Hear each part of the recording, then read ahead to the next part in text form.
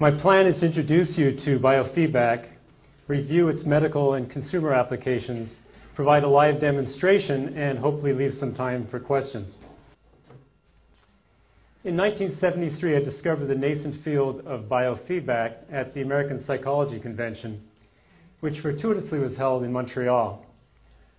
At that time, the equipment was dominated by large laboratory type instruments, which were far from portable, as you can see from this photograph. Suddenly, I discovered a way to combine my engineering skills with a humanistic approach to healing and quickly designed a simple biofeedback device, first in a pill container and then in a block of wood. I showed them to my family and friends, and um, they were all amazed at how the devices responded to their emotions. One of my friends, Lawrence Klein, was particularly fascinated by the concept and said, let's sell these, and so started Thought Technology. And this is our first product, the GSR1, made from walnut and gold-plated brass.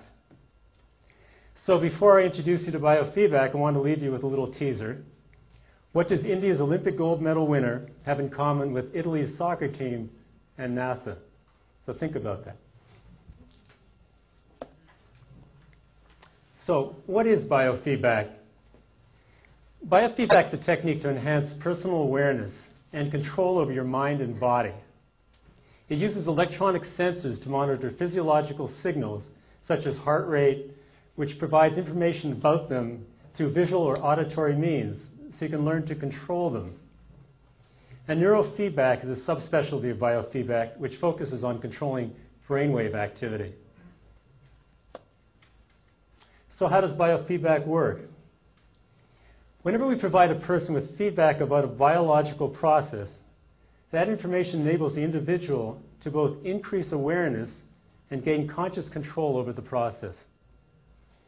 The same is true of any skill acquisition, such as tennis, where visual feedback provides the necessary information to make continuous adjustments to hit the ball. So on the slide you see here, your brain gives off the motor command to tell the muscle to, uh, to flex. We watch that happen, we assess it, and then we change it. So don't flex so much, flex a little, a little less, move to the left, move to the right. And that's the loop, and we can do that with any physiological signal. Biofeedback shares several core values with complementary and alternative medicine. It requires adopting a holistic view of mind, body, and spirit while taking an active role in the healing process by encouraging positive behavioral changes. This approach is in sharp contrast to the use of medications and other invasive techniques where something is done to you A recent report into the clinical efficacy of biofeedback therapies concluded biofeedback is appropriate for those who prefer to take control of their own health or who don't respond well to traditional medical techniques. This is a list of the most common biofeedback parameters. On the right, I've overlaid on a human body where the signals usually come from. So over here we have brainwave activity, EEG, electroencephalogram. This is muscle activity, which can be from any muscle. EKG, which can be from the chest or other locations. Respiration, which can be from the thoracic area or from the abdominal area. And we have skin conductance activity and temperature and blood volume pulse. And I'm going to be talking about all these, so don't memorize them yet. So the first devices I designed monitored skin conductance activity, also referred to as GSR. That's the name for the GSR-1. These devices impose a very small voltage across the skin through metal contacts and measure how easily current flows through the skin. As anxiety rises, both skin pore size and electrolyte concentration in the pores increase, producing a rise in the current through them which is easily monitored by a biofeedback device. Skin conductance is a basic signal used in lie detection. The most common use of these devices are to assist in the treatment of stress-related conditions, to complement psychotherapy, and for performance enhancement. It's also valuable to train skin conductance outside the clinic using inexpensive portable devices like our GSR2, whose tone rises with increasing stress and drops as one relaxes. The goal is to teach yourself to maintain a low tone or quickly lower the tone during stressful situations. This is the little unit. It actually predates the mouse. It's 1976 or so. And I will dial it in so you can hear the tone. Now, if I were nervous, the tone would go up. I'll look at all of you. Take a deep breath. So the rising tone, if I hit my hand, let's wait. So the rising tone indicates an increase in stress level, and as you relax, the tone comes down. The idea is to train yourself to bring the tone down quickly under stressful situations.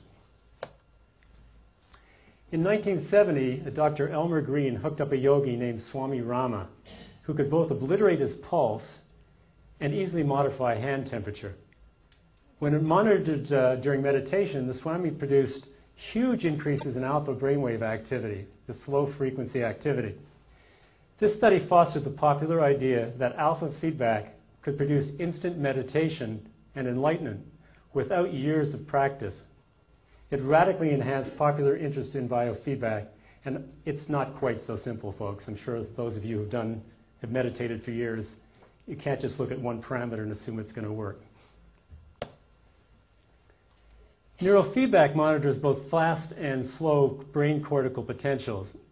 This photo shows use of a typical 32 channel EEG cap used during assessment. However, neurofeedback uh, training usually focuses on just one or two signals derived from the head. The goal of the training is to normalize or enhance each patient's brainwave pattern during specific activities. It's most frequently used to treat addictions, attention deficit hyperactivity disorder, learning disabilities, post traumatic stress disorder, and migraine headaches. Here's an example of a typical training screen for kids, which teaches the simultaneous enhancement and suppression of specific brainwave frequencies. The goal is to make the leprechaun pick up gold coins with the wheelbarrow.